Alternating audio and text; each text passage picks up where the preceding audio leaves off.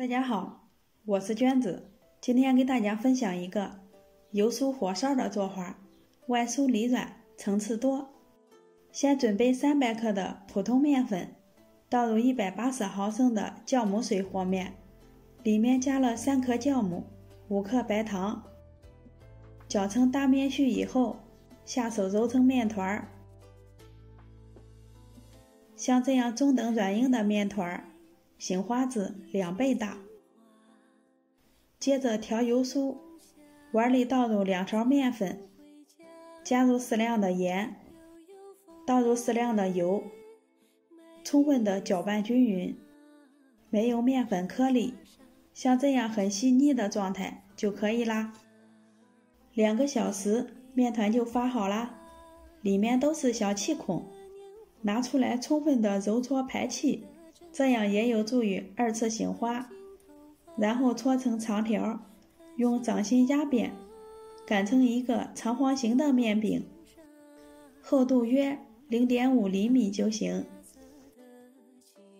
淋上调好的吸油酥，用刮板刮得均匀一些，这一步也是起层的关键一步。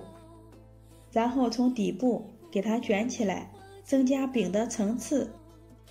再切成均匀的面剂子，把两头捏严实，防止漏油酥。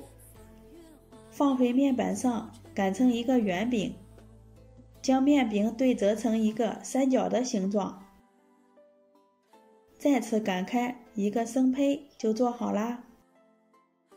全部做好之后，盖上保鲜膜，二次醒花十五分钟。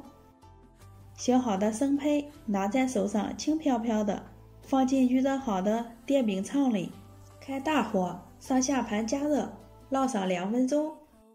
闻到香味了，在表面刷一层薄油，给生胚翻个面儿，再接着烙上两分钟。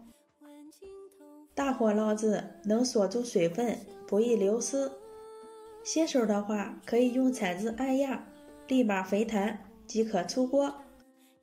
咱们的油酥小火烧就这样做好啦，给大家看一下效果。用手一抓，特别酥脆，里面松软，层次也多，个个都空心儿，特别的好吃哦。喜欢的朋友可以试一下。我们下期见。